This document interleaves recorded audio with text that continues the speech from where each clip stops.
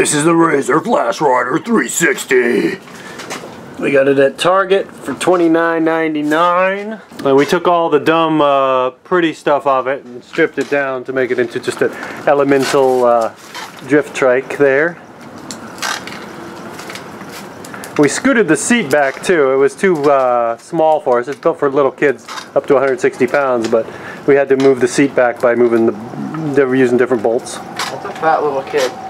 160? That's a big kid, yeah. That's that, that kid that smokes cigarettes that you see in the YouTube videos. I think he's about 160, five years old. So you can see there's four bolts holding it on. What we did was just use two bolts and move the seat back about that many inches because old fat guys who shouldn't be riding it are going to be riding it. So we just made a little bit more room. And uh, big teenagers as well. Sparky blinders.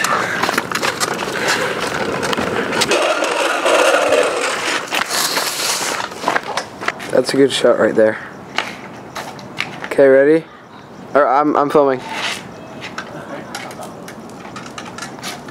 As you can see, you pull the lever, you get sparks, and you turn it. Ever so much fun for children of all ages.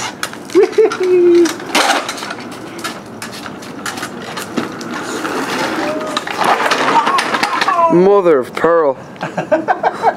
Oh! You okay? Ah, of course, moving the seat back shifted our center of gravity backwards, thus resulting in pain, injury, general discomfort for the next week, but it was worth it.